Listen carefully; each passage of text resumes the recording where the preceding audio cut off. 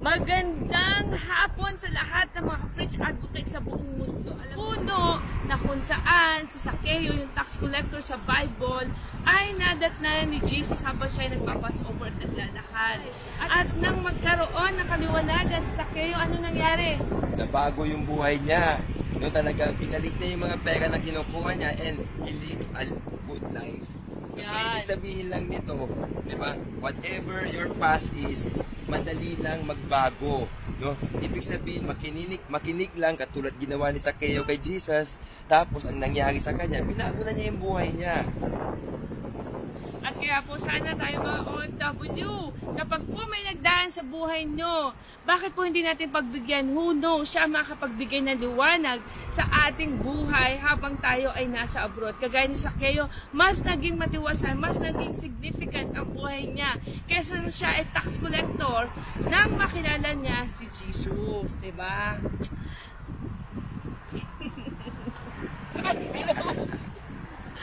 Isa po si Ringo sa nakinig sa amin ng panahon na yon. Yes. Ngunit nagbago ang buhay niya, di ba? At napakarami po mong mga kababayan natin ang nakinig din sa ating ang uh, French Revolution na ngayon ay dumadami na. Maganda pong magkaroon tayo ng kasaganan at kalayaan sa magandang paraan.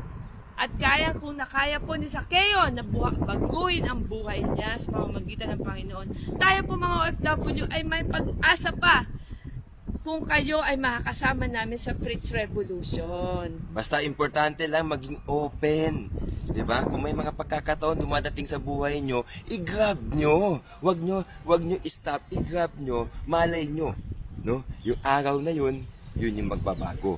Malay nyo, yung libro na to ang magbabago ng buhay nyo. Yes. At habang po kami na dito talaga po taimtim lahat ng aking pagdarasal para sa ating lahat ng mga Pilipino and most especially ang mga OFW na sana magbigay ng liwanag ang librong ito sa kanilang buhay. Kaya po sigaw namin mag-asawa, Laban OFW, Fritz your life! Wow. Friendly! Gentle. It's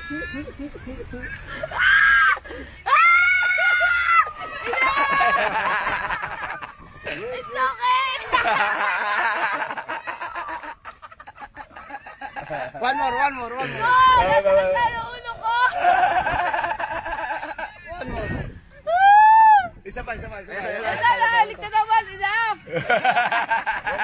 One more. One more, one more. Small kiss. Small kiss, small- Lips to lips, lips to lips.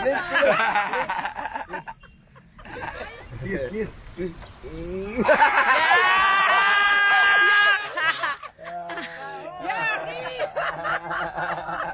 Again, again.